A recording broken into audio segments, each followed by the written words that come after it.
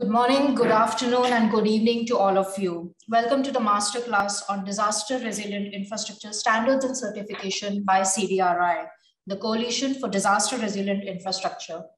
I'm Neha Bhatia, Senior Specialist Knowledge Management in the Research and Knowledge Management Wing at the CDRI Secretariat based in New Delhi, India.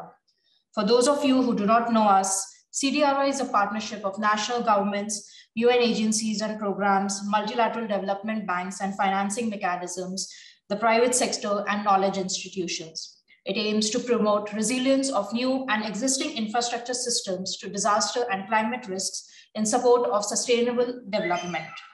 This masterclass aims to provide an interactive platform for participants to learn on critical aspects of policymaking and systems of systems approach while understanding international standards and certifications for resilient infrastructure. It will provide a detailed insight on international standard ISO 14090-2019 adaptation to climate change and the sustainable and resilient infrastructure standards, the SuRe standards. This masterclass is structured in three sessions, each every week, followed by an assignment which will be circulated after the third session. To qualify, participants should have attended all the sessions and submit their assignments by the closing date. Qualifying participants will be provided with a certificate of attendance for the masterclass. Today's session on standards for disaster resilient infrastructure is presented by Professor John Dora, Director of Climate Sense.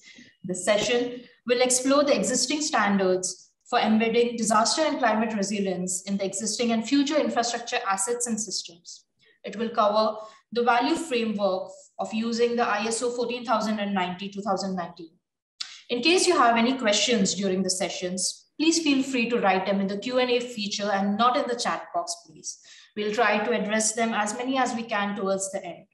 Now, without taking any further time, I'll briefly introduce Professor John Dora. He is a recognized international expert on climate change adaptation, standards, and sustainable development, infrastructure asset management.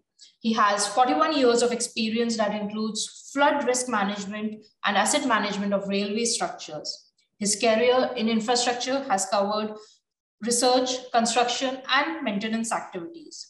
He's also an independent consultant and has been an advisor to a number of organizations, including the World Bank and the United Nations.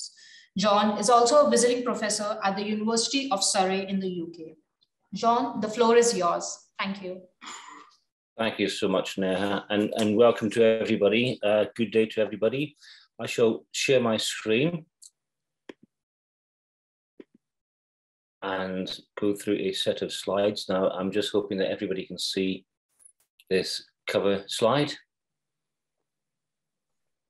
Yes, we uh, can. Good. I shall proceed. Um, yeah, I, am I'm, I'm really privileged to be here uh, to, to talk about disaster resilience and standards in this masterclass. I do thank CDRI for, for requesting me to, to, to um, present and pass on some information and knowledge that um, I've been working on for some years now. What we intend to do uh, in this short session, this, the, this explores international standards that enhance resilience of infrastructure systems to extreme weather events, geophysical hazards, and climate change. It's intended to aid discussions at this masterclass and the international conference in May in identifying the needs and opportunities to establish and enhance best practice in resilient infrastructure using standards. The coverage includes ISO, International Standards Organization standards, it includes US, Japanese, Chinese, and Australian standards, and those managed by the European Committees for Standardization, that's CEN and CENELEC. And the CEN standards comprise standards such as the structural Eurocodes, which are widely used outside Europe. For example, in, in the World Bank Part Finance Eastern Dedicated Freight Corridor in India, and Singapore's new Thomson East Coast Metro Line. Now, while scoped to cover standards, this looks further and across the spectrum of adaptation to climate change as well as disaster resilience activities. And it, the, the whole sort of topic of um, adaptation resilience, I take a systemic approach to these. And in this presentation, this masterclass, we can include considerations of planning and development, disaster risk reduction, and longer term climate adaptation themes. While not standards in themselves, the latter topics lend themselves very much to standardized approaches. Now, the content is going to cover standards generally, how standards can make a difference, types of standards, entry points in terms of using standards in infrastructure projects. And we're also going to cover resilience standards, challenges, opportunities, initiatives. There are some case studies here as well, some considerations for rolling out the use of standards and some recommendations at the very end. And then we have some short time for discussion. So just pause there and just replenish uh, some liquid.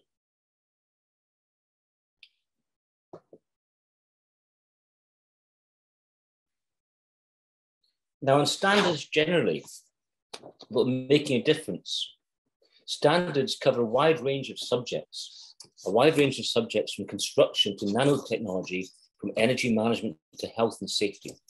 They can be very specific, such as to a particular type of product, or general, such as management practices.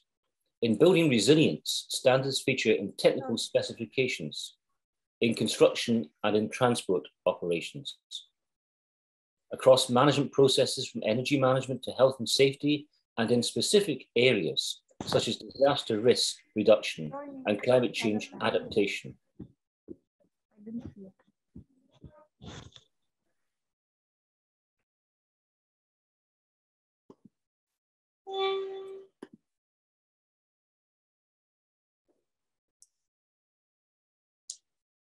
Standards help to enhance resilience of infrastructure systems to extreme weather events, geophysical hazards, and climate change adaptation.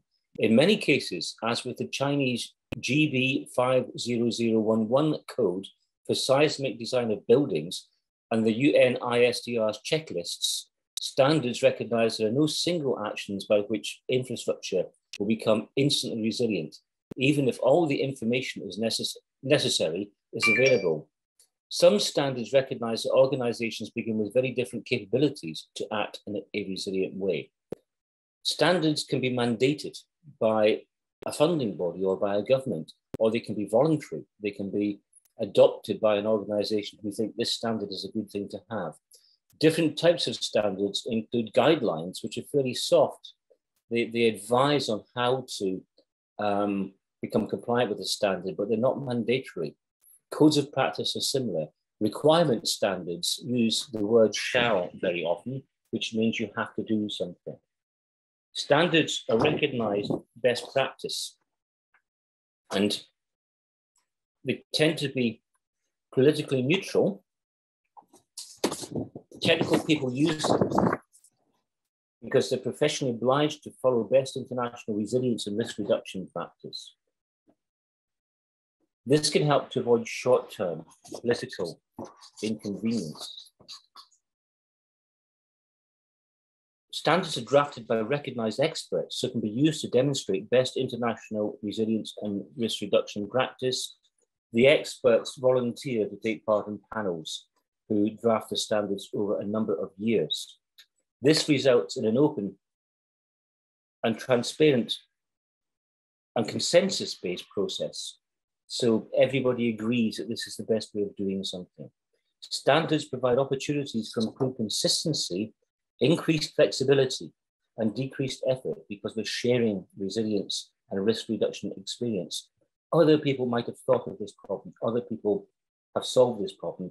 We draft the solution to a standard and spread that good knowledge.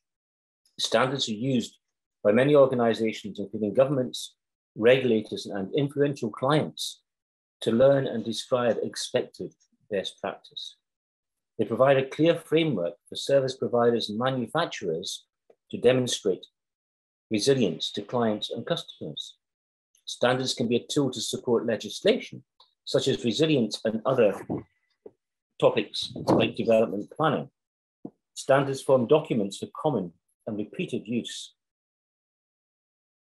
to effective mainstreaming of resilience practice, and they can reflect market needs and opportunities for resilience as well.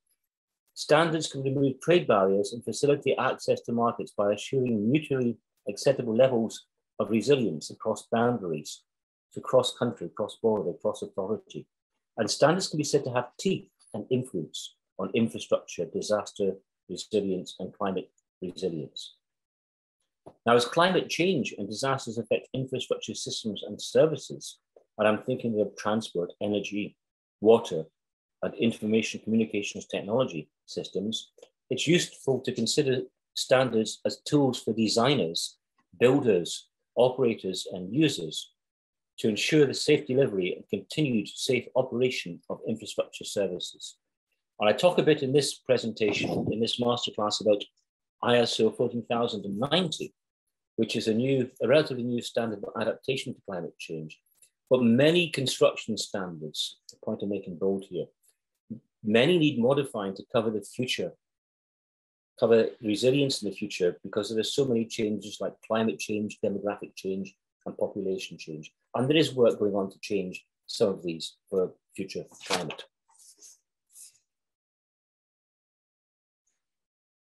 Entry points. Planning guidance has a significant influence on resilience, being part of an, an enabling framework that governs what development is permitted and where development is permitted. And some time ago, while I was reviewing different countries' resilience preparations for a piece of work for the Asian Development Bank and the UN Economic Commission for Asia Pacific, I realized that many countries tended to point towards national or regional planning guidance. A Chinese example being the standard for urban residential area planning and design. Such guides form useful pre-development and pre-construction aid memoirs that can bring about infrastructure resilience through simple things, and I say simple, through simple things like avoidance of exposure to hazards. For instance, do not build in flood prone or earthquake prone zones. They can help avoid disasters by reducing risks in exposed areas.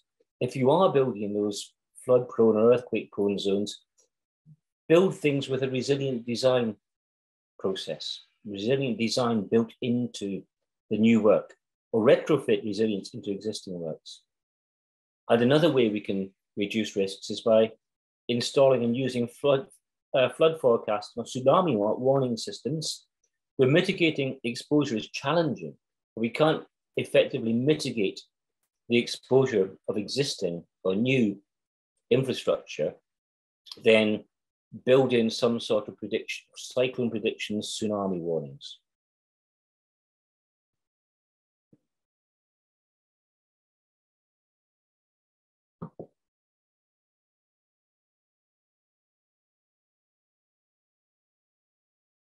Planning guidance can be very variable between territories in terms of the resilience offered, however. For organizations wishing to ensure resilience beyond the requirements of local planning, a benchmarking exercise can be useful between international standards and local standards to gauge which framework offers the greatest resilience. And standards can be used in the early stages of infrastructure design when communicating to those involved in compiling the outline parameters of an infrastructure project. So early thinking, conceptual design is really quite important. Get the concept well thought out, then the infrastructure project can be built through lower costs and better have better serviceability throughout its life cycle.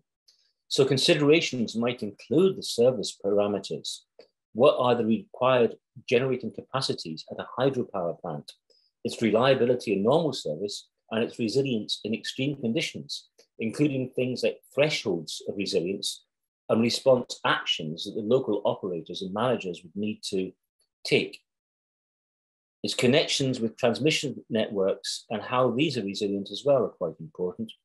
And we would expect these things to be built into the normal operation of a, a hydropower plant. For water treatment plants, output specifications in litres per hour are metrics that can be used. For public transport systems, you might think about passenger throughput as a metric.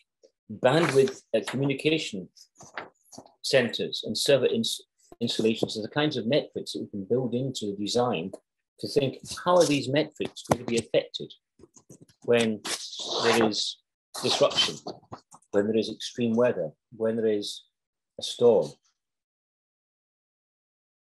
Thinking through the concept as well, quality parameters and architectural design are quite important. Surface finishes, coloring, structure, and form. These can all affect the long-term durability of infrastructure. For instance, the ability of an infrastructure component like a bridge to shed water so water doesn't sit in, in pools, which can cause corrosion. Uh, the ability to maintain structures, infrastructure easily, access routes into inspect and maintain and change components are really things you need to think about in conceptual design. And also the thresholds beyond which the design no longer offers safe resilience and thresholds beyond which additional measures, strengthening or, or new components are required. These are all themes that can be thought of at the conceptual design of infrastructure. Think about resilience to extreme weather. Think about resilience to long-term climate change and how to build in that resilience, how to build in redundancy for stresses expected in the future. Perhaps using design years, look ahead to a particular year and design the infrastructure for that year with a different climate and different loadings.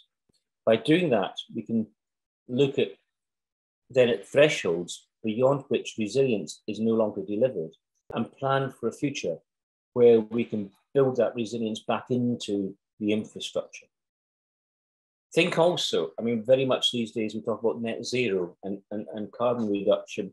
Think also about sustainability, contribution to the United Nations Sustainable Development Goals, whether to adopt a whole life or a life cycle costing approach, which can help to ensure the ease of operation and main, maintenance, and the ease of operation and maintenance for longevity of the infrastructure, not necessarily just for now, but for the long term future of that infrastructure. And a couple of points on the screen now. It's easier to change designs when they're on the drawing board than when construction is underway. And when we think of whole life costing, we think it's better to do the changes on the drawing board so we end up with a well thought out project. But it's even better to avoid exposure to hazards. So some entry points. Then we think again about resilience standards. Now here is a list. I'll just leave them up for a couple of seconds for you to have a quick look at.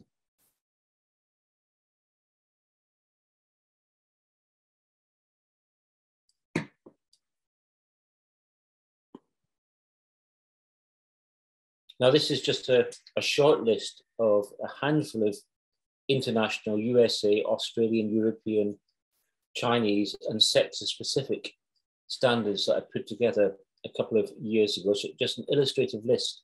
And you can see how planning features quite a lot in some of these. But also, we look at sectors, like on the right here, we've got a railway, uh, a navigation and waterway, ports and waterways sector, uh, climate resilience for water and wastewater and hydropower. So there, there are sector-specific standards that organizations produce, but there are also national and regional and international standards that cover these topics. Some are very detailed, some are guidance, some are mandatory, some have lots of requirements in them. And I shall speak a bit about the ISO 14090 standard, which is on the top left.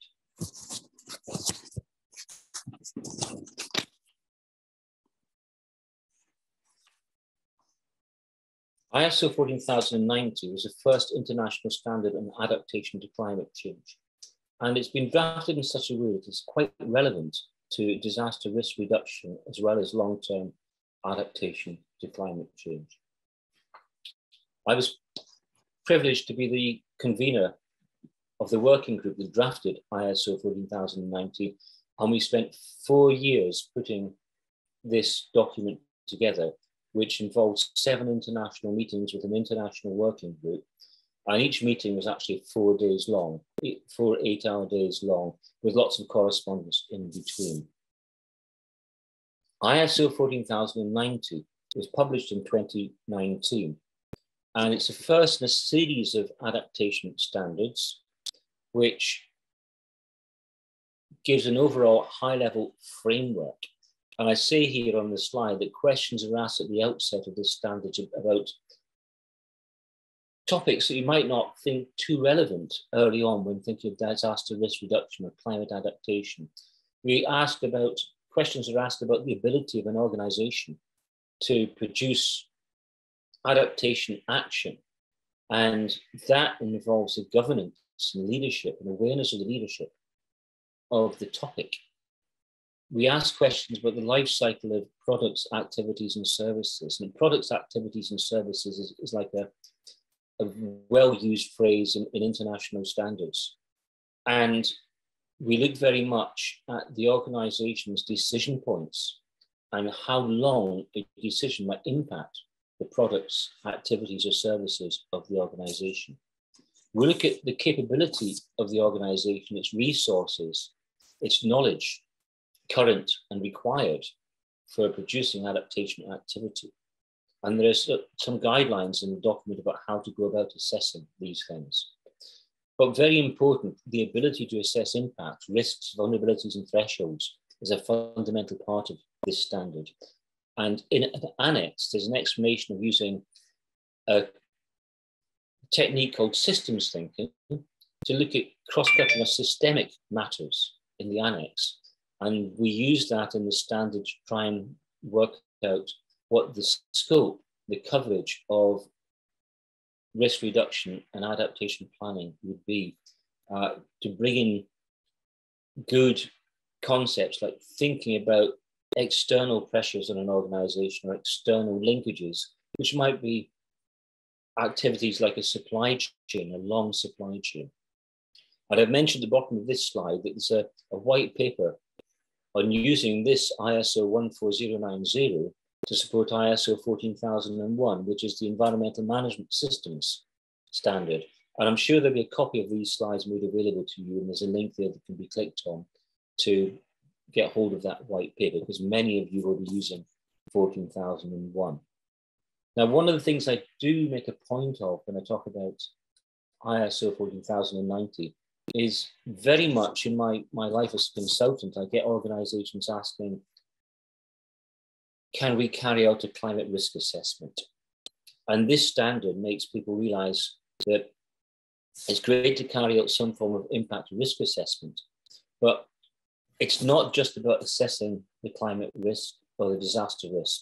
This standard gives a framework to take that risk, that impact assessment, and turn out a plan to deal with those risks over time. Many times I've seen organizations see the risk assessment as a be all and end all of a climate or disaster risk reduction process, but that's just a snapshot. They might get a tick in some box that they've done a risk assessment, but this standard mentions how to act on the risk or the impacts, and much more is required than just a risk assessment. And another question, um, this is full of questions for users of the standard, but one I will pose to, to, to the audience here, and I see there's quite a lot of people, over 100 people listening. How familiar are you with 14,001?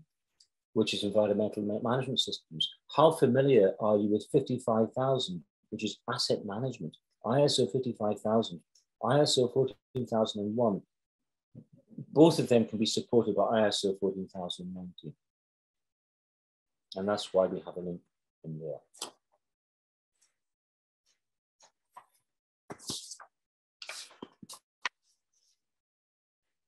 So ISO 14090 covers many different areas. Like I said earlier on, the way that we draft these standards is based upon consensus and experts with international outreach. And ISO 14090 can be applied in any organization.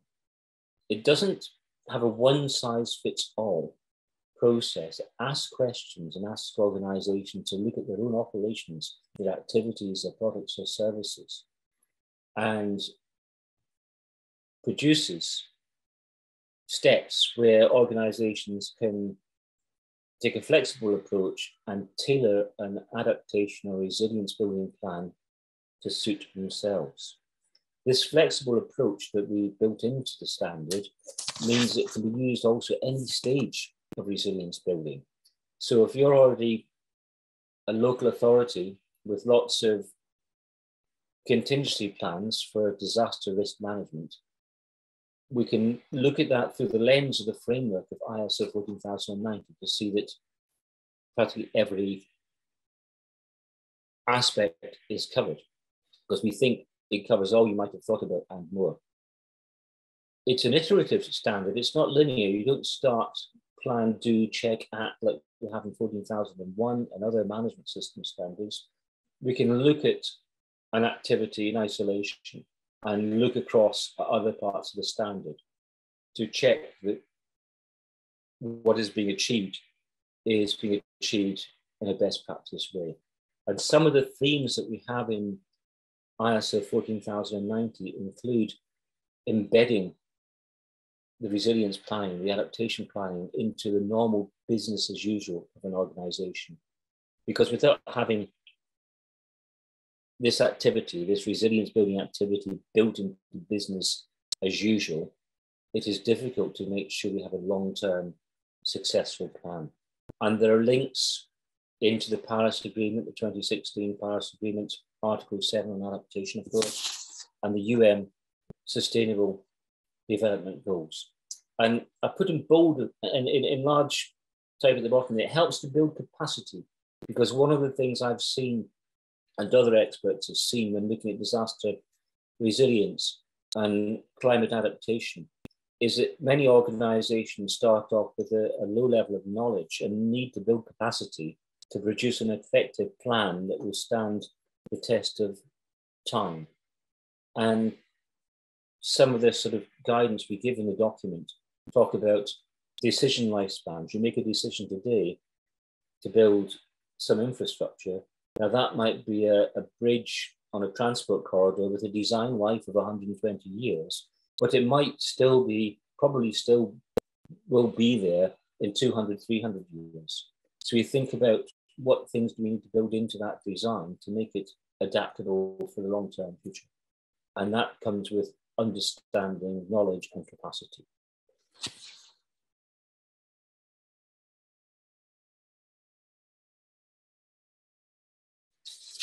And I mentioned how ISO 14090 is the first of a number of standards, and there are already a couple of ISO standards 14091, which gives detail on looking at climate risk. And British standards have just recently published BS 8631, which is about using the concept of adaptation pathways for decision making and it's been titled Adaptation to Climate Change, which follows the same sort of um, theme that ISO 14090 uses. And in time, this British standard will become uh, an international standard, another one of the ISO family. Now, BS 8631 talks about adaptation pathways, and it may be a, a, a, an alien concept to many of you, but I've got a couple of examples coming that will help to understand, help you to understand 8631. Adaptation pathways look at long-term issues in terms of climate change and planning to deal with the uncertainty with some of the climate projections and uncertainties as to how infrastructure might behave, infrastructure might react to, to, to extreme weather events or climate events. So the guidance given in the adaptation pathway standards cover the scope of the standard and the scope of the adaptation pathway exercise. It helps organizations to assess their own capacity to develop and implement adaptation pathways because an organization might need more knowledge, might need more um, resources to develop adaptation pathways as applied to an infrastructure project. It looks at how the organization can understand the uncertainties from current climate, as well as looking at future climate scenarios, including monitoring and evaluation of climate scenarios. And it looks at the different options the different levels of risks at different times in the future. And like I said, I've got a case study coming up to, to describe that. But very importantly, when I mentioned earlier this concept of systems thinking and Annex A in ISO 14090, that encourages users of the standard to look at the whole system. And part of the whole system is thinking about interdependencies between different um, aspects of the infrastructure system, a transport system is there to move people and freight. And interdependencies in the transport system might include things like fuel depots and stabling depots for locomotives, for a, a rail-based system. It might include things like um, electricity supply and substations for overhead line current or, or, or third rail current for, for, for railways. And part of that system as well includes the people, the controllers, the managers, the staff who actually work on the trains, the staff that work maintaining the railway, the track, the bridges, the stations, the signalling. So there's all these interdependencies, and they might even include supply chain and components, electronic components for signaling systems. So this standard, 8631, thinks about those interdependencies. ISO 14090 encourages you to think about those as well. Then 8631 talks about assembling a range of different options on the adaptation pathway and working out, evaluating how suitable they are and which ones should be prioritized, and then recommending preferred adaptation pathways. And then once these pathways are in place, and this all sounds very abstract, I know, but when it comes to the example, you'll see what this means.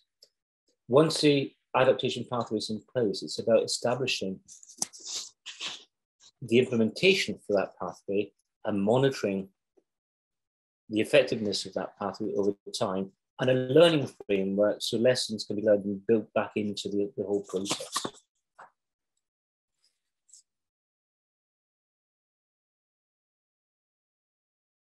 So the, the adaptation pathway process in the standard uses nine steps. And it's been used successfully on the Thames Estuary 2100 plan, which is the long-term plan that considers London, the capital city of the United Kingdom, London's tidal defences and the Thames Barrier. The case study is based on, that's a picture of the barrier the whole of London's tidal defences. And while clients can specify more realistic future climate design criteria, resilience measures, and resilient frameworks for infrastructure, these will make use of plausible future scenarios, the best available climate projections, working with nature, strengthening operational maintenance teams, and building infrastructure that can be adapted at a future date. Now, this concept of adapting the infrastructure at a future date is a managed adaptive approach using these adaptation pathways. Now, the best example of, of, of the, the, um, the, process is the TE2100 program, like I said, but it's also been used widely in places like the, the Mekong Delta, the Irrawaddy, and the Ganges, and the whole concept is enshrined in, in BS8631. I'm just checking one of my notes here.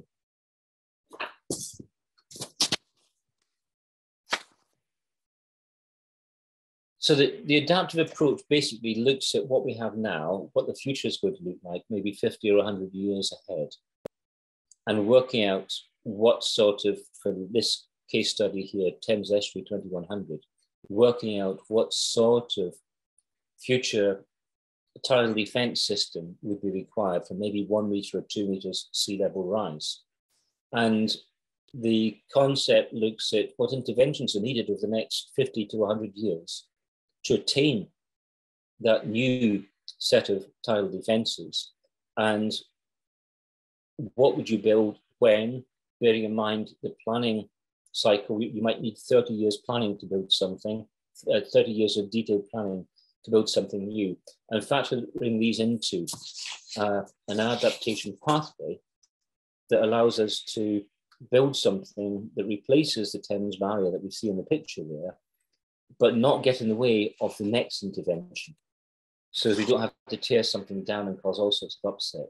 It provides for incremental or transformative adaptation over time. And because it's a long-term cycle, this concept of using adaptation pathways, we can review and link that into planning policy, standards and guidelines at appropriate stages throughout the life cycle of the infrastructure, which is very much more effective building this in the very early stages, like I said earlier. And lenders who, who have considerable leverage when lending money can adopt a line of sight concept so that what is seen as necessary at the outset of a discussion about the project translates to fruition at all stages towards and after the delivery of a project. So we think long term, we plan short term to make sure we can build something that can be adapted over time. And we have a line of sight from now into the long term future that gives an economic and technically sensible way of dealing with uncertainty over the long term. So the nine steps within the adaptation pathway, at the top we have defining the scope, aims and objectives. Then we have understanding the risks and opportunities from the current climate.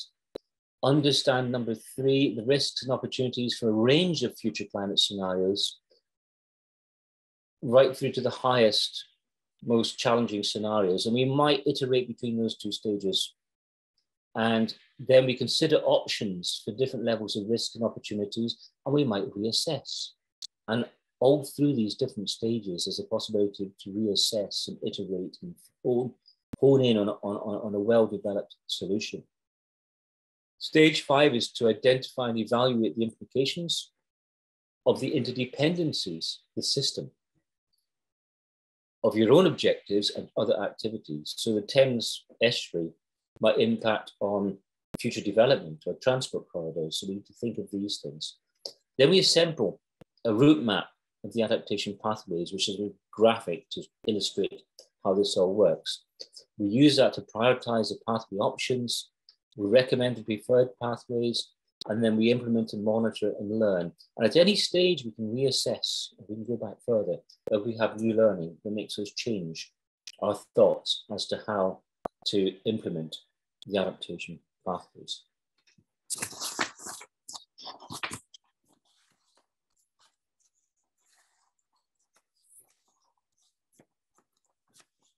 And later on, near the end of the presentation, I've got a, an illustration of a route map to give you an idea as to how that works in practice and how it's been used in practice.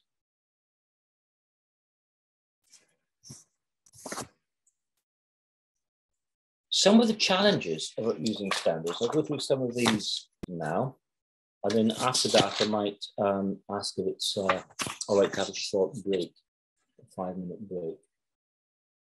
But certainly on the challenges,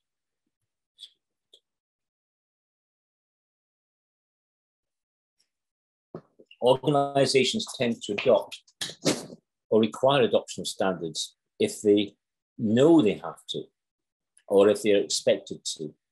In this case, the driver for using a standard is what some might call framework conditions. In other words, does the system expect you to or reward you for having the standard used? It largely depends on the decisions and requirements of framework organizations. In other words, those that set the options under which others in the system operate. Uh, and they're often government organizations, any, any kind of government level part of organization that sets regulations can be one of these framework organizations or financing organizations or large organizations with enough buying power to set the rules of trade or even their competitors. Some organizations will only do things if they have to. So that re requires a level of regulation or terms in a contract.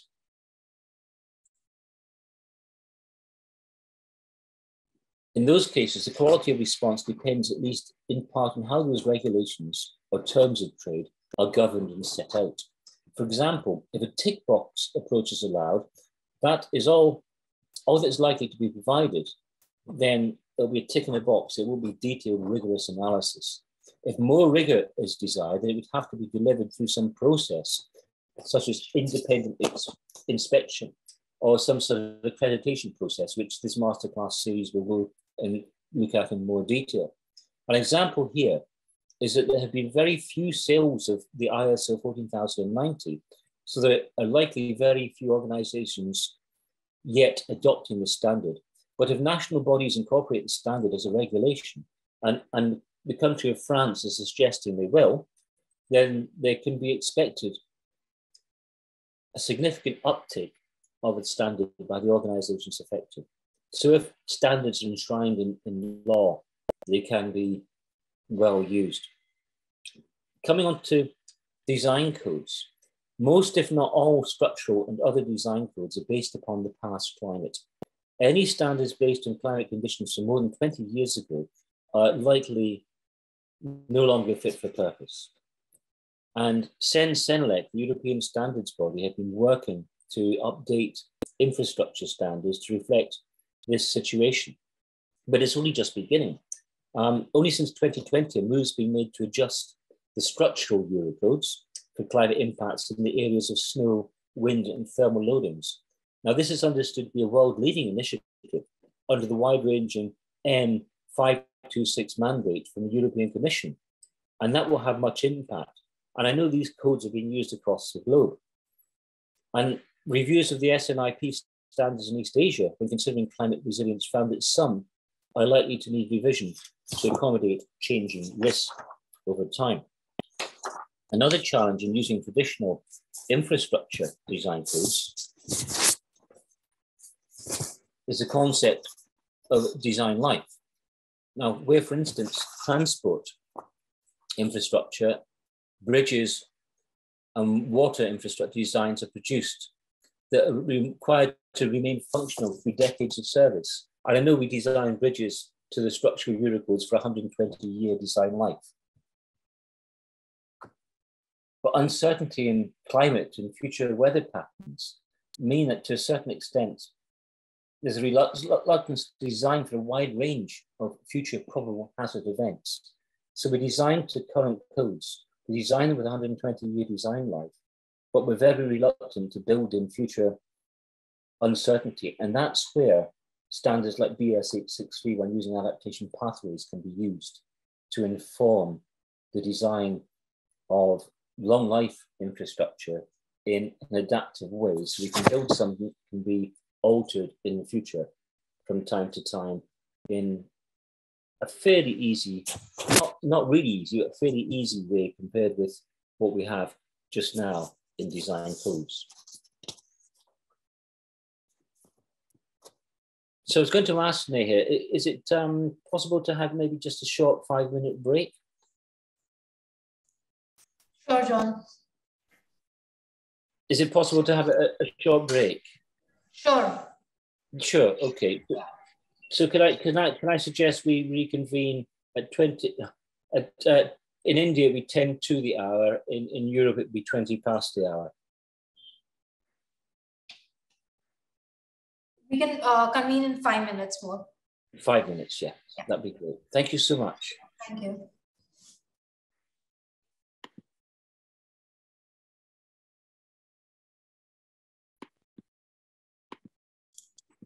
Right, that was some of the challenges.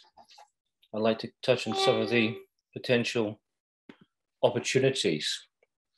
And one of the themes you will see that keeps coming through this is the early stage thinking, linking planning policy, avoiding development in exposed areas, looking and reviewing at long-term infrastructure policies and strategies, using systems thinking to identify where things are interdependent and considering issues across all interdependencies, power supply, for instance, um, control systems, design, operation, and maintenance, which might require uh, different infrastructure systems to rely on road transport or other transport systems, supply chains, governance. Uh, having a managed adaptive approach, the T2100 BS863, one example, building back better after destruction, future-proof the whole system. And one of the points I make here when using standards is that even though I, I highlighted earlier that construction standards might not be looking at future proofing infrastructure, we have an opportunity to specify more future proofing criteria. So climate design criteria, resilient measures, resilient frameworks for infrastructure, making use of plausible future scenarios, best available climate and extreme weather projections, working with nature, strengthening operational maintenance teams and building infrastructure that can be adapted at a future date.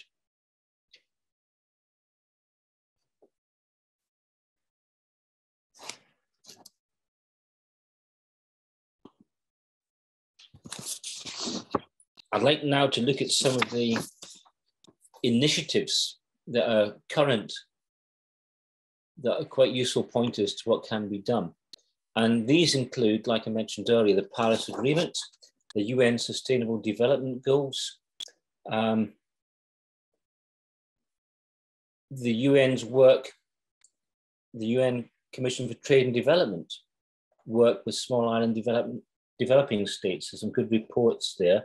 And in, in many of these reports and the standards I mentioned earlier, there are good references and, and good, good resources that can be fairly easily found using a search engine like Google on the internet. There's Europe's Pan Regional River Basin Management Administration, which looks across boundaries for large river basins, so it looks across borders. There's Australia's ISCA Sustainability Rating System.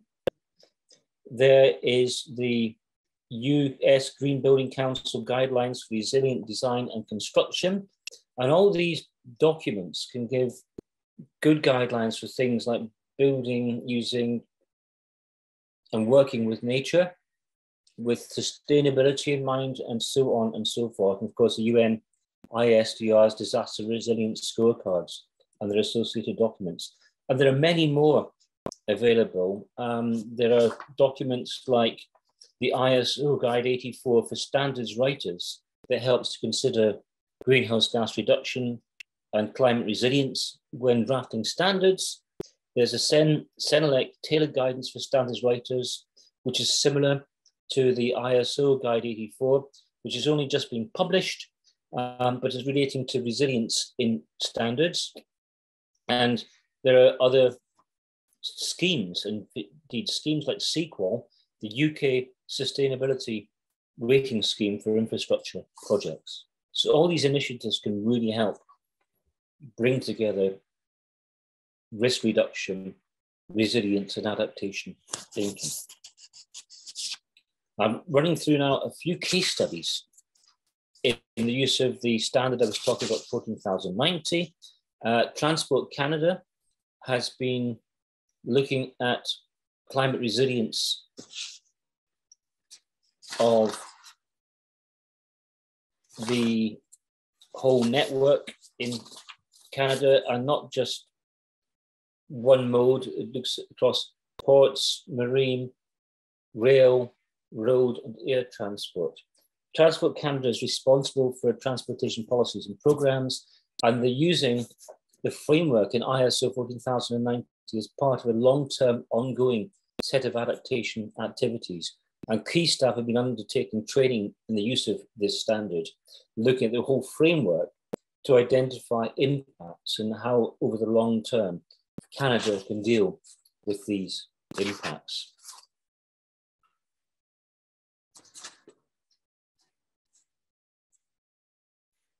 The High Volume Transport Organization has applied some research recently to produce a policy guide for African and South Asian low income countries to increase the resilience of land transport against future climate risks.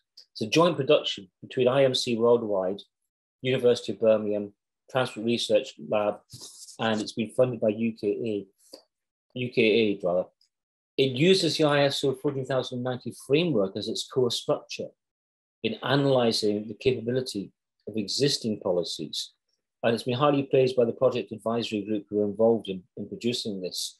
The, the framework, like I've mentioned a couple of times, covers things like governance and leadership and impact assessment. So the researchers at Birmingham University used the framework to rank existing transport policies in terms of risk reduction and resilience as part of the, the work to inform this new policy guidance. And I'm, i was trying yesterday to find a link to that, and, and when I get the link, I will make it available.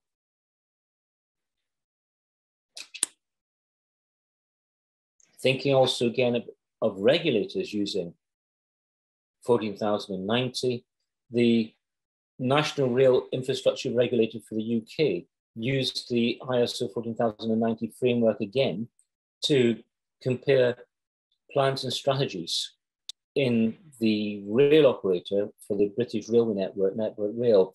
Network Rail has got weather resilience and climate adaptation plans for each of its seven routes. And the ISO 14090 framework was used to set up a scorecard to work out how well those plans delivered against international best practice. And that was a part of a, a set of analyses of the rail operators' plans that the regulator required. And lessons learned in that exercise included aligning the metrics used for resilience and, and weather resilience for the railway system to suit the system. Currently, the metrics measure the performance of trains against a timetable. But one of the findings was that metrics ought to be aligned to the movement of people and freight rather than trains against timetables. Important lesson that is about using metrics in, in the right way.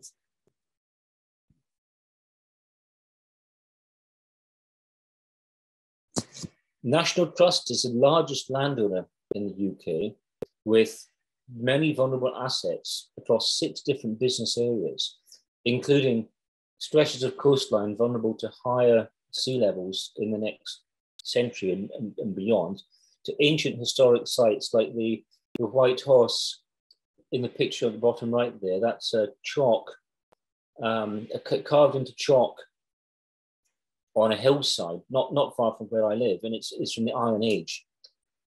National Trust saw value in using the framework of 1490 to align its climate decision-making processes with best practice. And the business units vary from um, looking after large estates of countryside to parkland, coastline, like I said, to collections of old medieval paintings, oil paintings, and, and, and, and stately homes. Very diverse.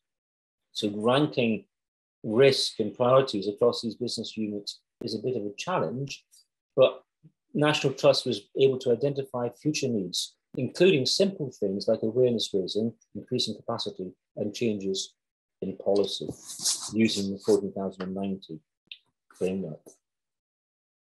Coming back to infrastructure, the UIC, the International Union of Railways, which is 200 members across 95 countries, published a Rail Adapt guideline in 2017 and made use of 14,090 as source material to set up a process whereby railway organizations can examine themselves to see how well suited they are to building resilience to future climate.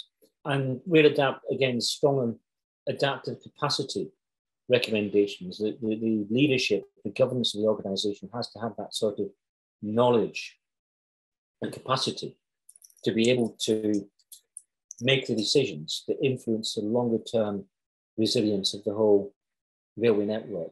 And the guidance is, is freely available and can be found fairly easy with a Google search. Um, and uses, like I said, the ISO 14090 framework alongside asset management activities to make sure that resilience, risk reduction is built into business as usual.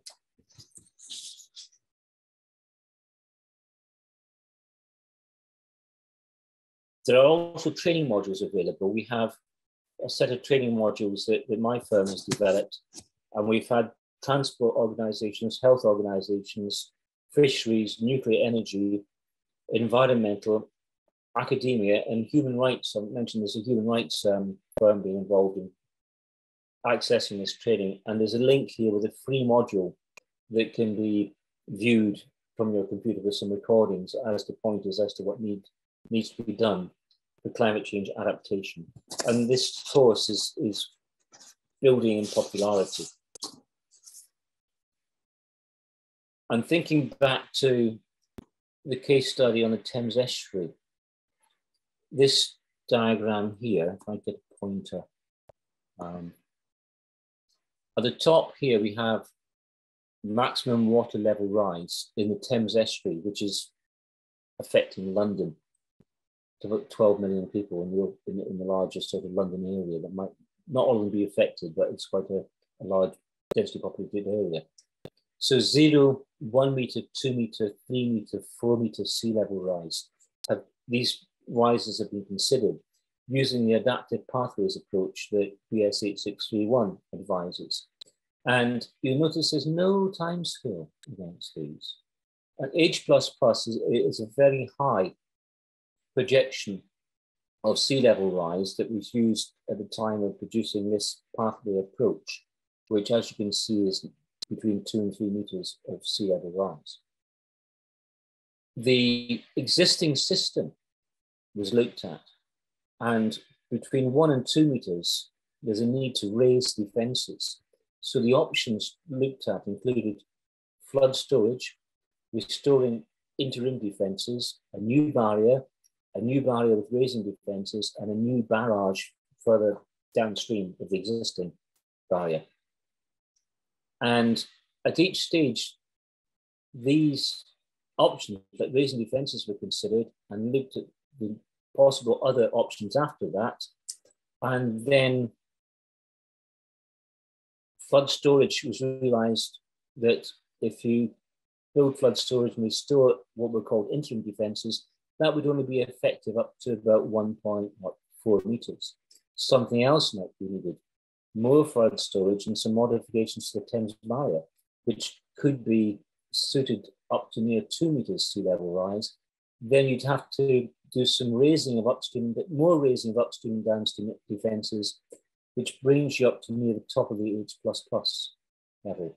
But another option might have been to raise defences, over-rotate the barrier, and we still use interim defences similar to this one down here, which would give protection up to around about 1.2, 1.3 metres, and then you would improve the Thames barrier and raise the downstream defences, which could give you defence up to about 2.4 metres, I think. High level option one, high level option two, high level option three, high level option 3B, high level option four. So these are ideas as options.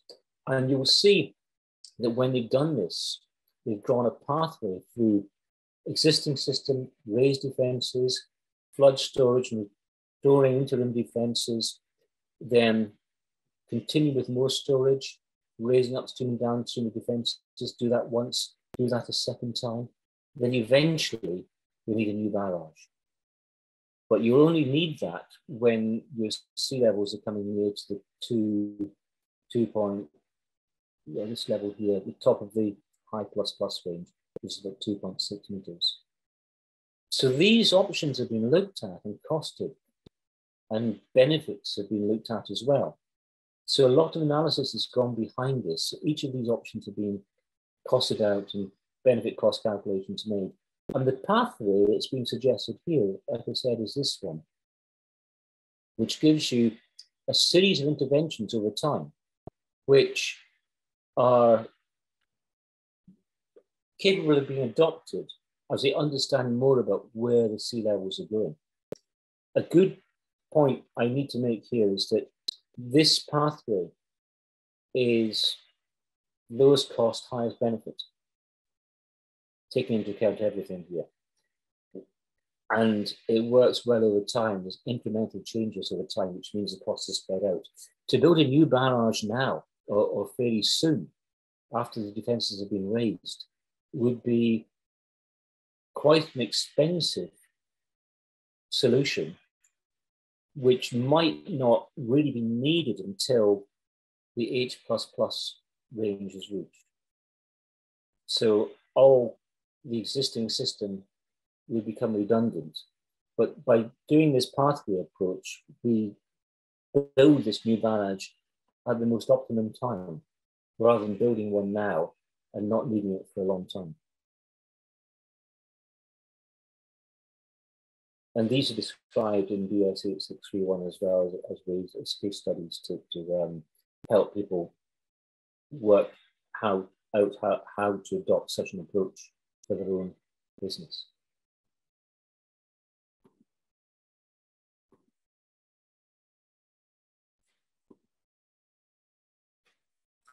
So that, we look some case studies. And I've called this section about rollout considerations, about mainstreaming natural hazard resilience, disaster resilience, and adaptation in infrastructure projects.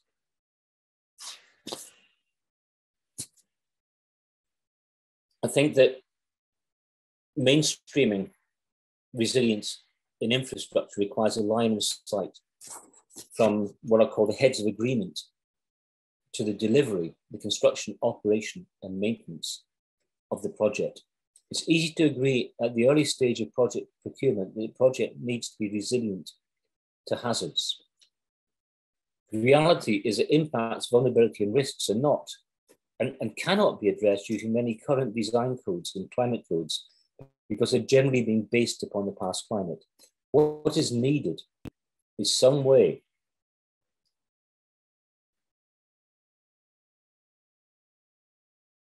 some way that compels or otherwise persuades governments and borrowers and those involved in procurement of infrastructure product, projects, thus design consultancies, construction companies, operators and maintainers and owners, that a range of considerations are relevant at all stages, from heads of agreement to the delivery of the project. International guidelines and standards point to high level frameworks that address key considerations, and like I was saying with 14,090, governance, leadership, organization, maturity and capability, impact assessments, adaptation, adaptation plans, resilience building plans, integration into existing policies, strategies and plans, making things business as usual, skills, resources, indicators, monitoring, evaluation, and learning feedback. I mentioned earlier as well entry points and each stage of a project carries considerable scope for reviewing things like lending work, uh, for reviewing workflows and linking standards and guidelines at appropriate stages, entry points throughout the process. Lenders have considerable leverage when offering funds that can push the line of sight concept so that what is seen as necessary at the outset of a discussion about a project is enshrined in all the documentation and translates to fruition during and after delivery of the project. And we could sort of discuss things like systems and criticality, like we see at the top here. Populations depend upon infrastructure systems that are interlinked. Energy, water supply, waste, transport, communications technology are all interdependent. Any sector, system, or assets that in that sector can impact all society if they fail but some are more critical than others. So, you know, if the power system fails, communication goes down, the transport system might not work. And because the transport system doesn't work, the people who would maintain the communication network might not be able to get to repair, get to a site to repair that network or the power system. So the cascading and interlinked issues. The ISO 14090 standard recommends using systems thinking to scope out the coverage of the adaptation plan so that all these areas are addressed. Good practice in planning. Again, I've mentioned planning a few times. Evaluate planning laws and guidelines and modify them to reduce exposure to hazards, to disaster risk for new construction and provide guidance in retrofitting and warning systems for existing infrastructure. The US and Australian guidelines can help here. Australia's toolkit helps local authorities navigate the complexity and uncertainty inherent in making decisions based on future climate and disaster risk. Capacity building. The Paris Agreement mentions adaptive capacity, and ISO 14090 makes organizational capability a fundamental part of adaptation and resilience building. Assessment to decision makers' capabilities and maturity could be useful. And there's a tool called CAD, which I mentioned here, Capacity Development and Diagnosis, can help streamline that process. It uses nine different themes and seven different ratings in those themes around the governance of organizations to work out how well uh, an organization's capacity is for disaster risk and, and adaptation planning. Monitoring and evaluation and making the right changes throughout the whole project delivery process. Various standards show this sort of performance-based approach. ISO 14001, ISO 9001 on, on quality. These are best-selling standards on environmental management and quality management that use monitoring and evaluation techniques to improve and learn. And best use existing design codes, like I mentioned, existing standards are maybe not, tend not to be future looking in terms of future risk, future climate, but organizations who have influence can ask, can require the future climate to be assessed when designing new infrastructure. So I've put together a number of recommendations here, next steps for maintaining, mainstreaming, I beg your pardon, climate adaptation and natural hazard resilience, including discussing how best to introduce these following topics and how do we bring these into uh, mainstream discussion, mainstream activity. And part of that is discussing these topics, I should have said building infrastructure that can be adapted at future date. This concept is the BS 8631 using adaptive or adaptation pathways concept, which I've mentioned. Adopting a line of sight throughout workflows from heads of agreement to delivery of a project. International guidelines point to using high level frameworks address considerations like leadership and governments, and these should be considered throughout all stages of a project.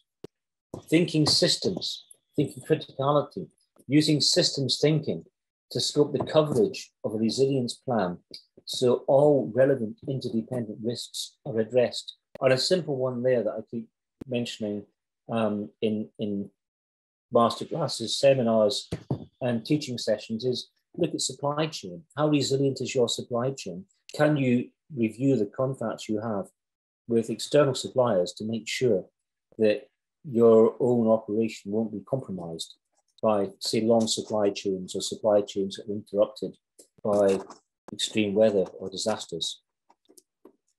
Good practice in spatial planning. I've come back to that quite a number of times. Avoid construction in areas exposed to hazards. And if you have to build in those areas, then modify and strengthen the infrastructure and provide warning systems.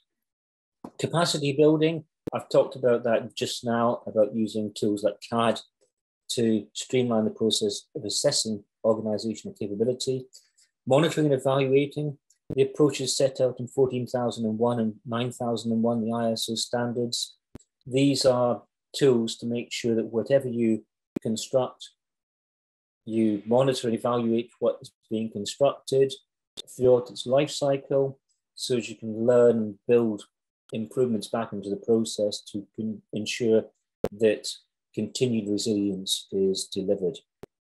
And lastly, on this list, lastly for this presentation, how to make the best of existing design codes. Now, like I said, structural Eurocodes are used widely outside Europe, structural Eurocodes have national annexes for weather parameters. climate parameters, disaster parameters, and risk. These national annexes offer opportunities to insert future parameters suited to the organization, suited to the country, suited to a region. So these are just some recommendations which you maybe have some, some time to discuss. And I think that's my last slide. So thank you very much for, for listening. Um, I shall pass back to Neha.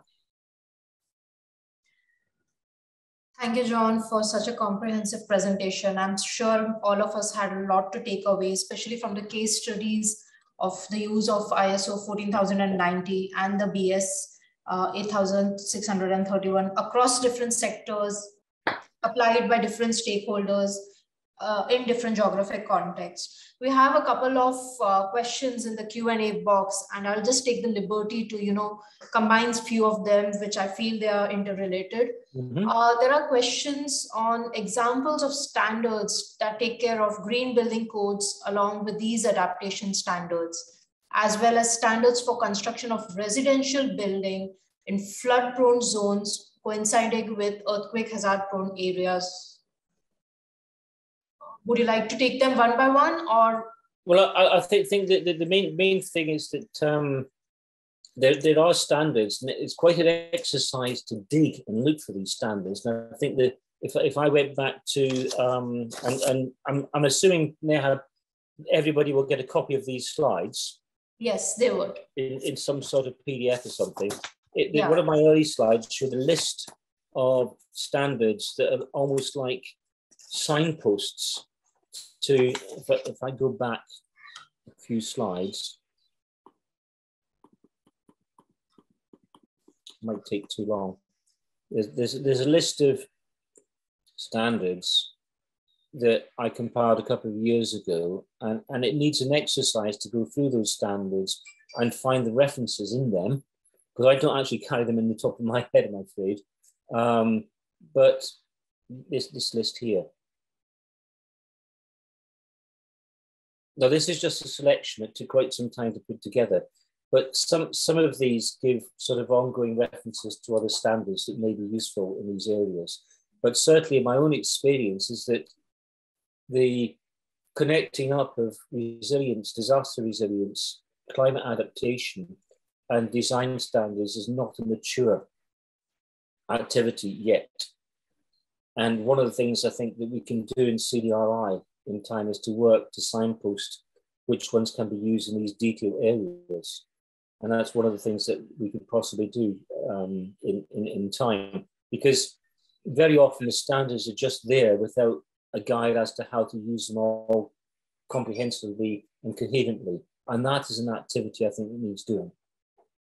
It's not a detailed answer, it's a very high level answer, I'm afraid. Thank you very much, John. There's another question on does ISO 14090 considers the compounding and cascading hazard risks as climate change impacts exa exacerbate its impact due to this dynamics considered in the adaptation standard? And if yes, any illustration would be useful to understand. I'll just, is that in the, um, the chat, is it? Or the Q&A, is it?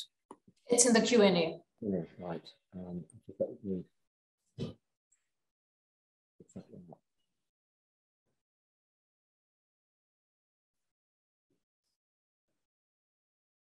yeah, it, it, ISO 14090 asks organizations to, to look at the risks involved, and it does pick up using the systems thinking process, uh, the concept of looking at cascading risks, but it's for the organization to understand. It doesn't say specifically look at all your cascading risks, but it gives a framework where organizations can then think this could be a cascading risk. And we would need to, an organization would need to look at how these impacts affect themselves. Now, one of the areas that I've been working with infrastructure organizations is to look at, like I kind of mentioned earlier on, the impact of failures in the supply chain. And an example from about three or four years ago, looking at the now being constructed high speed line in England, HS2, we looked at cascading risks from the wider supply chain on HS2's performance And we identified things like the electricity supply being key to the performance of the high speed railway. And if the electricity supply failed, you would lose, likely to lose both signaling, signaling of, of the trains, which means you're not able to control the trains properly, and you're likely to lose the power, the energy to move the trains. So these two things were highlighted as being a, a systemic risk, which could be addressed by having the right, well-written contracts for the supply chain that we're providing will be providing the electricity supply. So that's the sort of thing I think of when I think of cascading risks. But the, the way that 1490 is set up is for the organization to think through its impacts and identify things like cascading risks through the systems thinking process, and then to address them with some sort of plan. I hope that helps. Very much, John. Thank you. Uh, there's another question on the work done so far in the Mekong, Irrawaddy, and the Ganga rivers, rivers, and how much the work has been done on assessing and exploring adaptation and resilience pathways for 2050 and uh, 2100.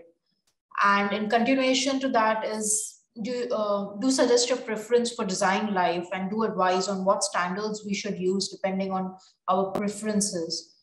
Um, also indicate the potential rise in costs.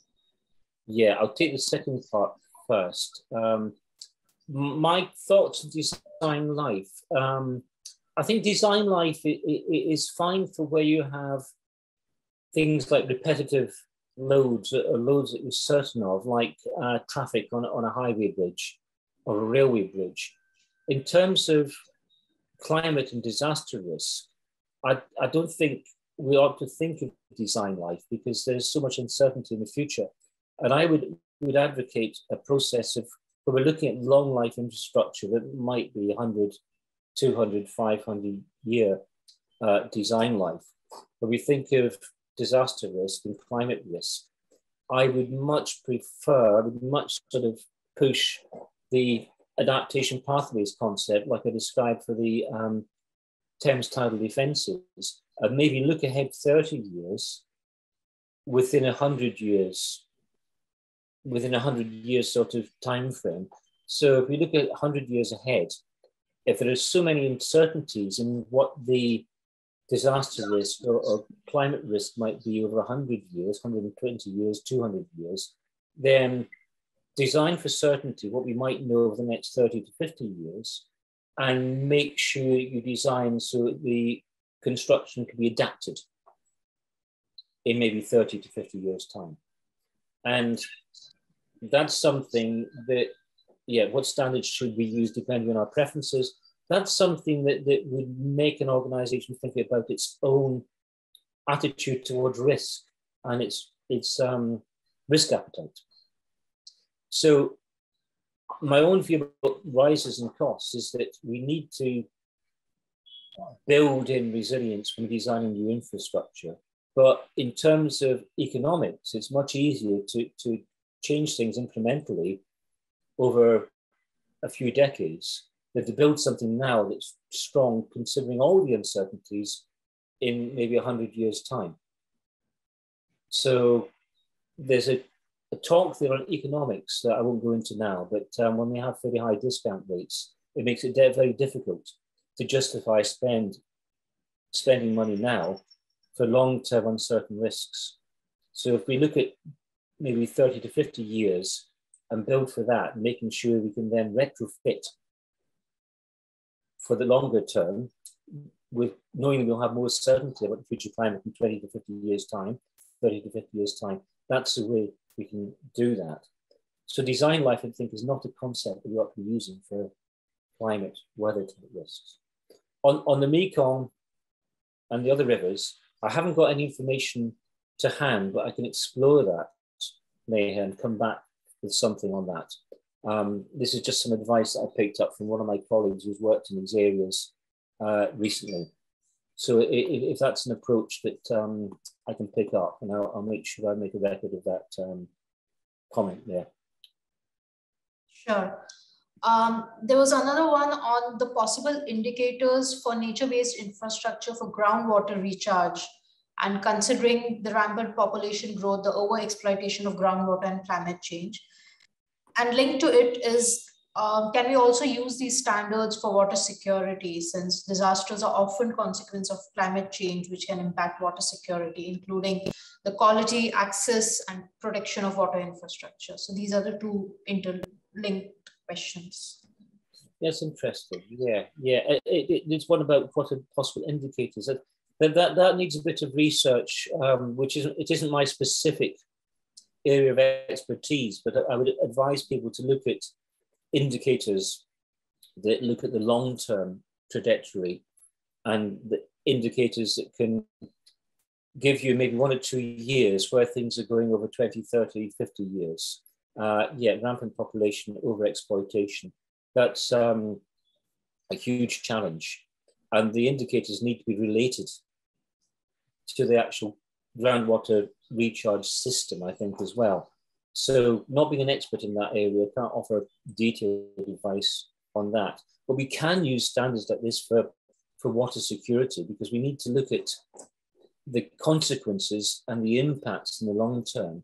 And the way I would get really I would recommend would be some sort of workshop scenario looking at the long-term scenarios and maybe a an extreme scenario in terms of water security and working back from that to now to work out what stages, what pathways could be introduced in some sort of pathway assessment to make sure water quality, protection of water infrastructure and access to water catered for in, in these long-term uh, problems that we will be facing. But yes, we can use these standards for water security because it, it, it, provides a general framework for looking at any kind of issue.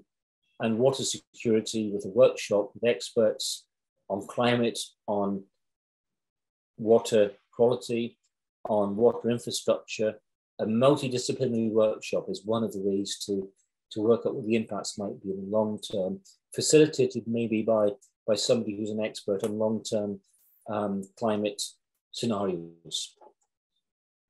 Right, thank you, John. Uh, there was a minor clarification by one of the participants on the issue of aligning metrics to suit systems.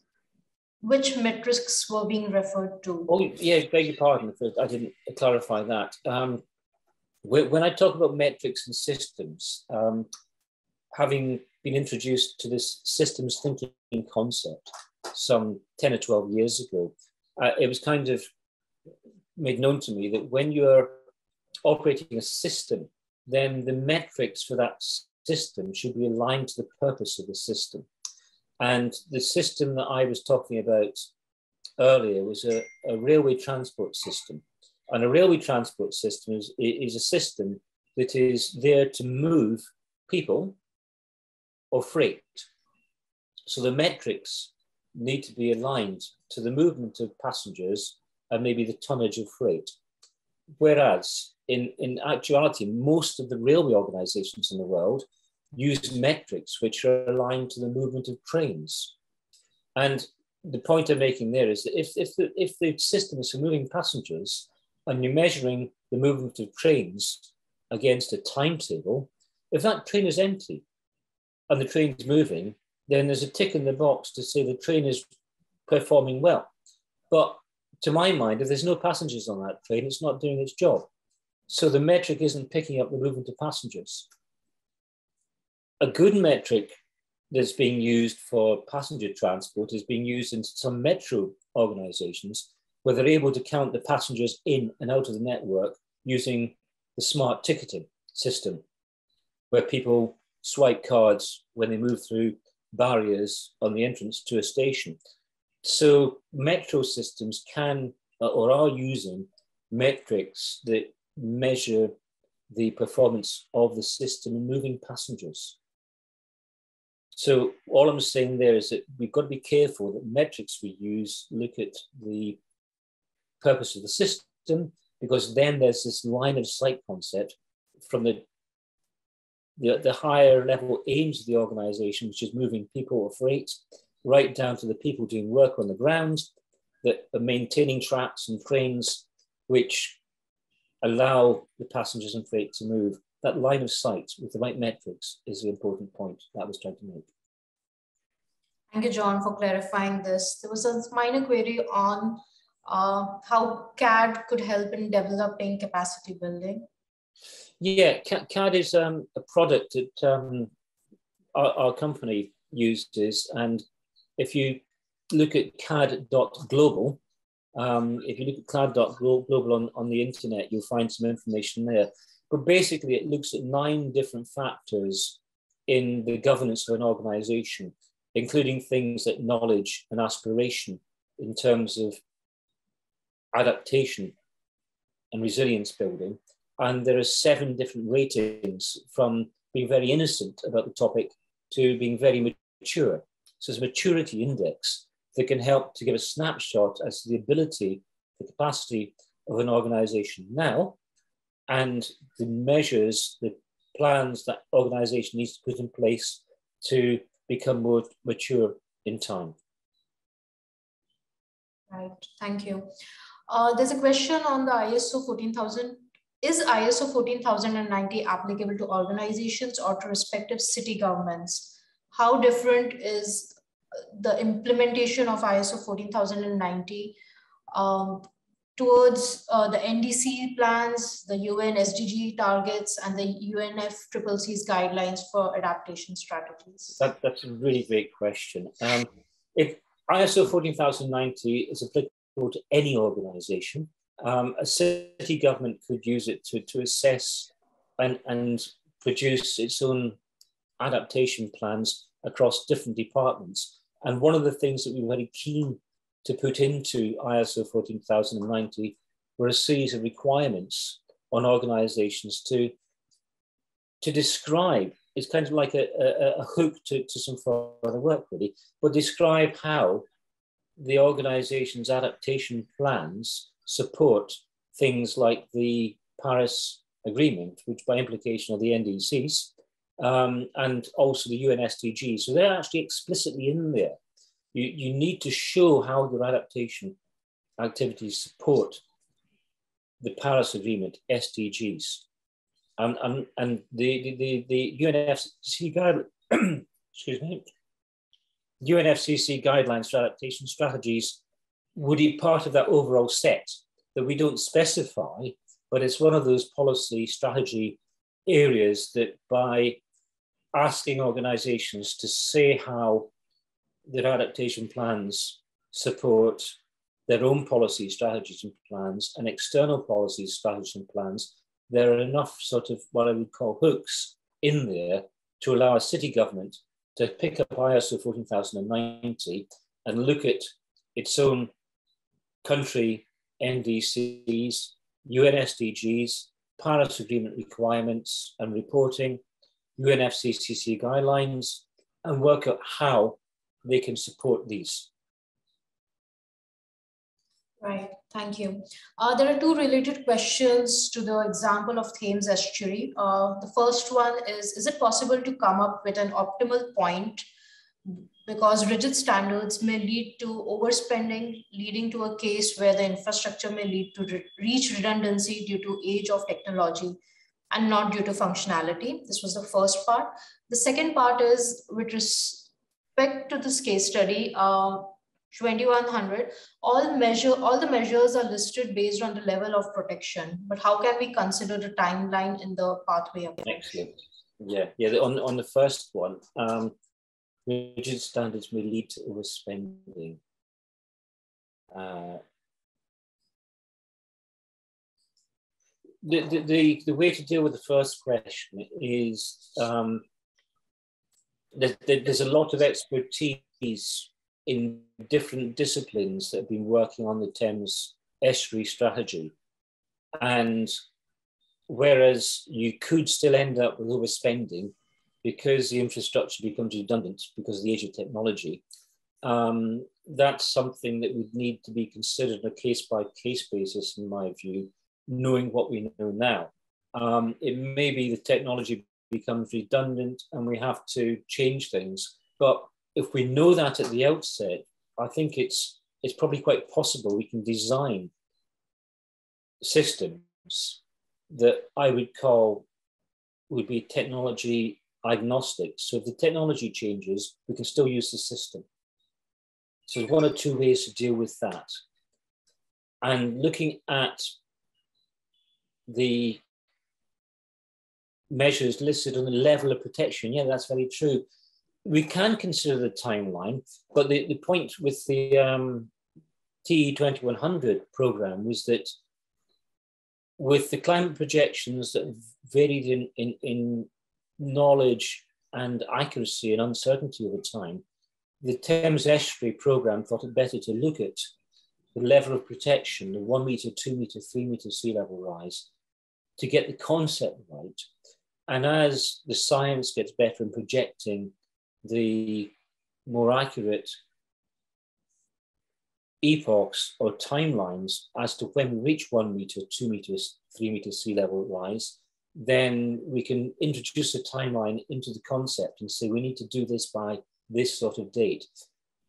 For example, when the H++ plus scenario came out, I think we were talking about 2.5 to 3 meters sea level rise, but actually we've revised that downwards. So that means the timeline changes. And it's one of these areas where through application of good monitoring and evaluation processes, we can work out what we can work out a better, more accurate timeline for when we need to act. So we set up with the concept, we thought one meter, two meter, three meter, H plus plus. That's got a concept that seems valid. To introduce a timeline, we need to keep a reviewing the science and monitoring and evaluating the science and be able to introduce a timeline with the best knowledge we know now, maybe five years' time, maybe 10 years' time, because there are review points set in this overall process. I hope, hope that helps. Very much, John. Thank you. Uh, there was a query on without following the 9001, can we directly go to the ISO 14090 for any kind of infrastructures if concerned? Yeah, yeah, you can. You can go straight into using 14090 because the, the framework is is not sort of um, what I say is it's not one size fits all. It asks questions of you and your own organization. And you might want to use 9001 for part of it, but that's a choice.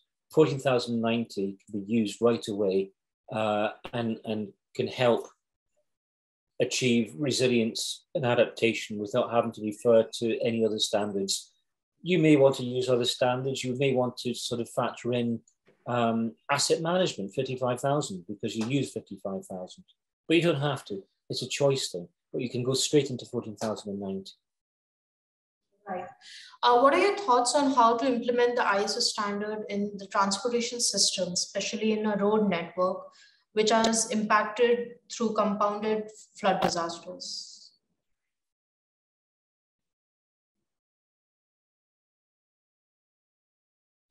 I think, I think that that's a case of um, being clear as to what the impacts would be with compounded flood disasters. Then, then I'm thinking that um, we can use the impact assessment part of 14,090 to identify those impacts and then use the rest of the framework to work out how you can um, reduce risk over time.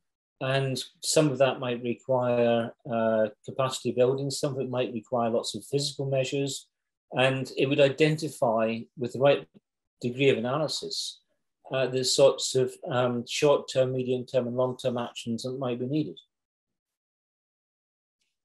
So right. quite, quite, quite, quite clearly, you can use 14,090 in, in, in that sort of uh, set of dilemmas, looking at compound flooding in, in a road network, yes.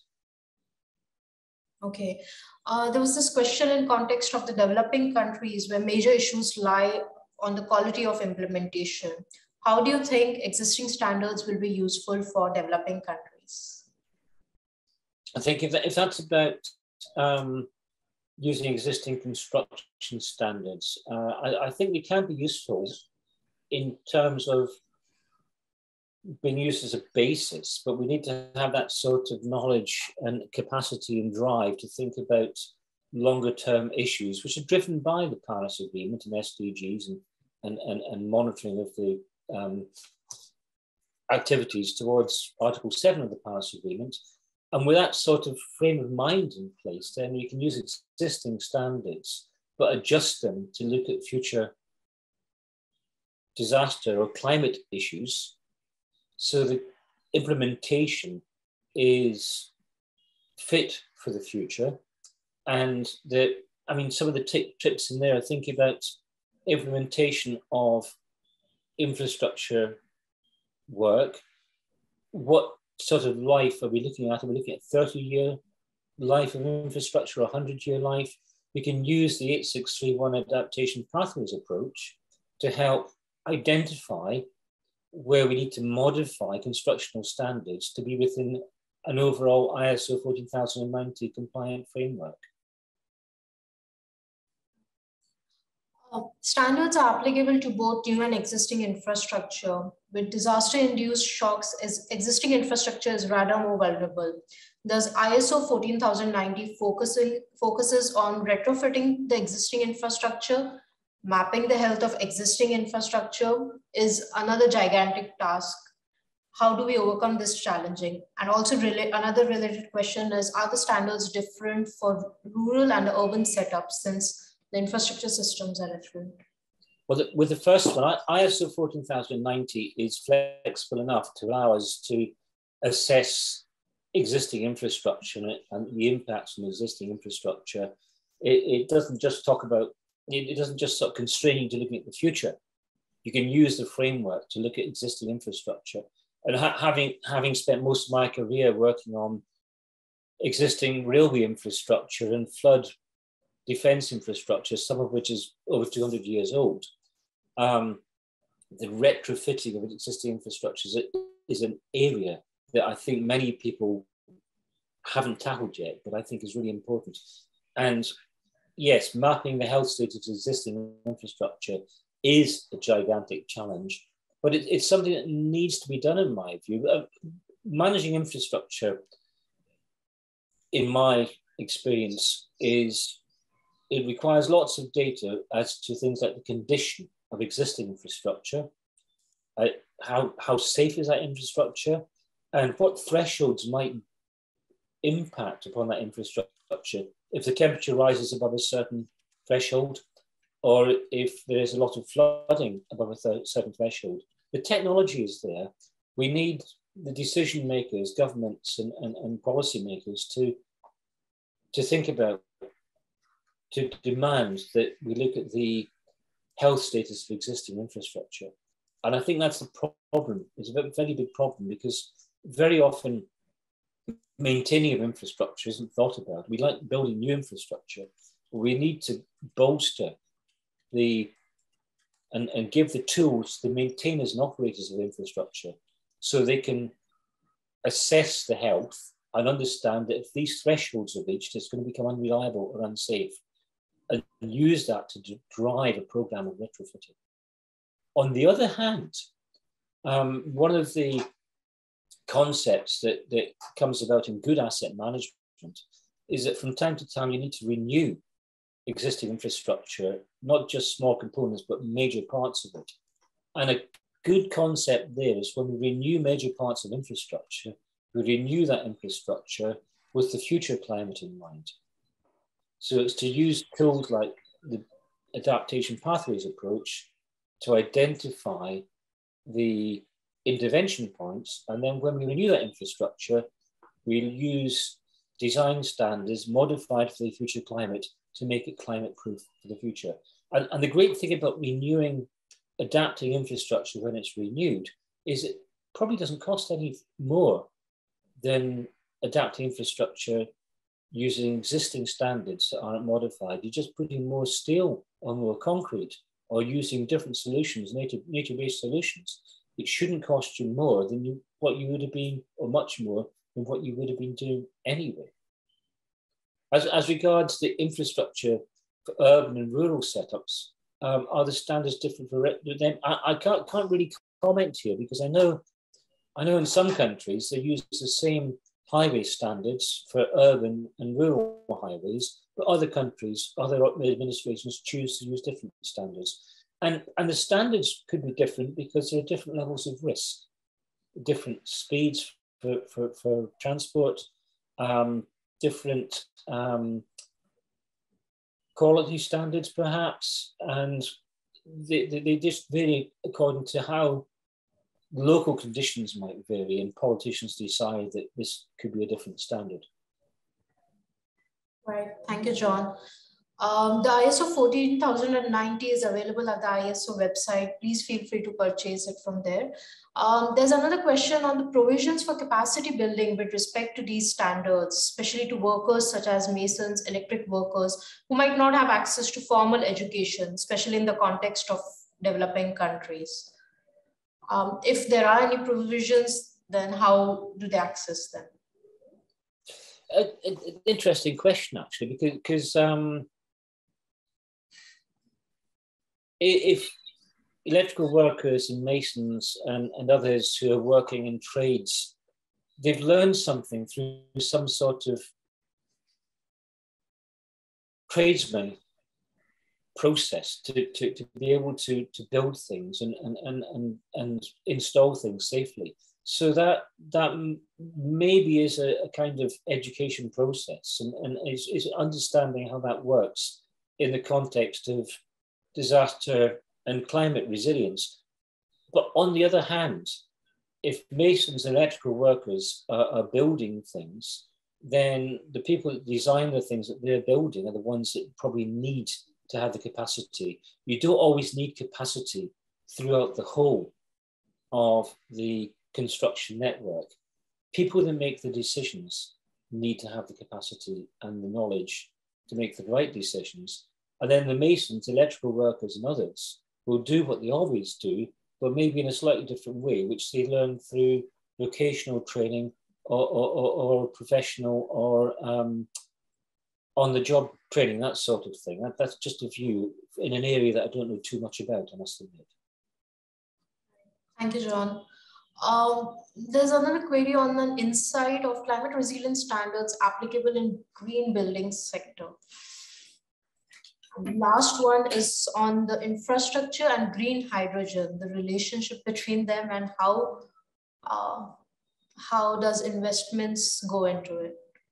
So these are the last few questions. I'm struggling with the green hydrogen one because I, am I've not been involved in, in green hydrogen. Um, so I'm, I'm not really qualified to answer that one, I'm afraid. Um, but looking at climate resilience and, and, and green building, um, I do know in Europe there's been quite a bit of a work in scaling up from a project called Resin, uh, European funded money to look at things like nature-based solutions and building them into buildings and infrastructure. And these are things that seem to be building up momentum just now. So climate resilience is something that sits by itself, but anybody looking at uh, building infrastructure or, or, the built environment using uh, nature-based solutions and green solutions and, and, and blue solutions can look at climate resilient standards and overlay them on, on their own sort of building standards to see how they match. Right. Thank you, John, for patiently answering all these questions of the participants. I hope you all did receive your queries satisfactorily. Um, and thank you all for attending this session. Uh, you'll soon receive the details of the second session of this masterclass, which is scheduled on 27th April, Wednesday next week um, at the same time. And the video link for today's session and the presentation would also be available on our website. Till then, goodbye, thank you, and have a fantastic weekend ahead. Thank you, John, and thank you, everyone. Thank you, everybody. Thank you very much indeed.